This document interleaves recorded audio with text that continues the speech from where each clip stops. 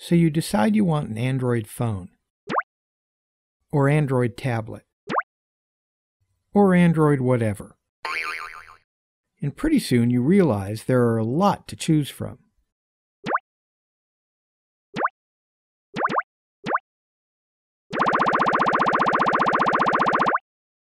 But you only want one, the one that's right for you.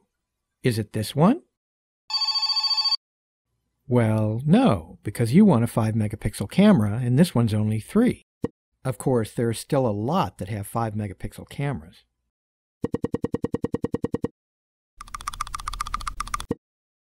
But maybe you also want a real keyboard. And because you're always getting lost, a GPS and a compass. And you're almost there. Which do you choose? How about the one with the most memory?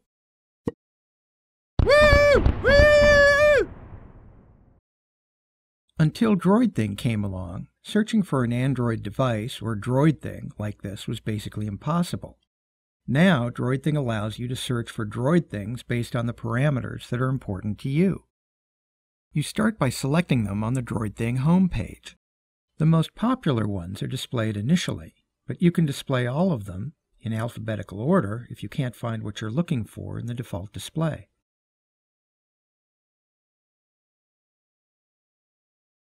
You can also drag them around if you want parameters to display in a particular order in the next step.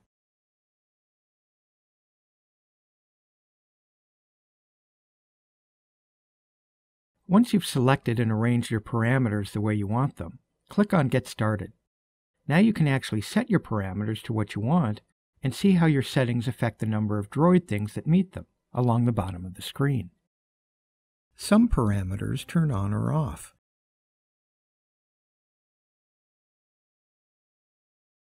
While others adjust continuously.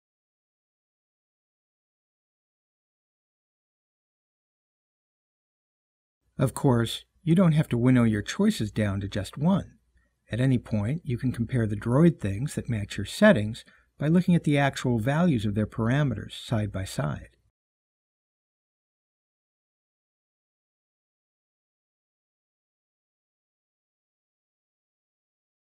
You can change units, Go back and adjust your parameters.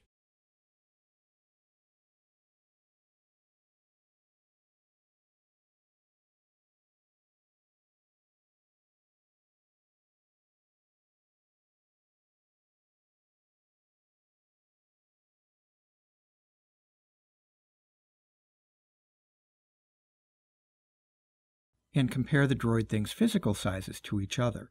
You can even compare them to common objects, like a soda can or a pack of playing cards.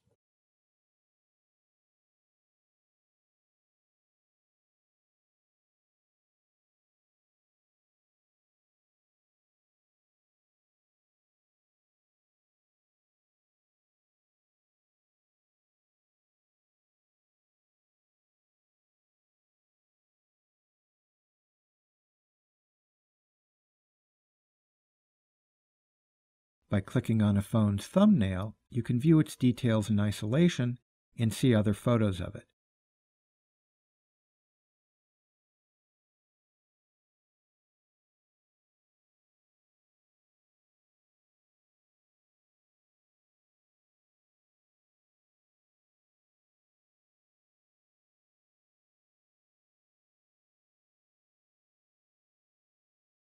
You can also find retailers and wireless carriers that offer it. So that's Droid Thing in a nutshell. Have fun!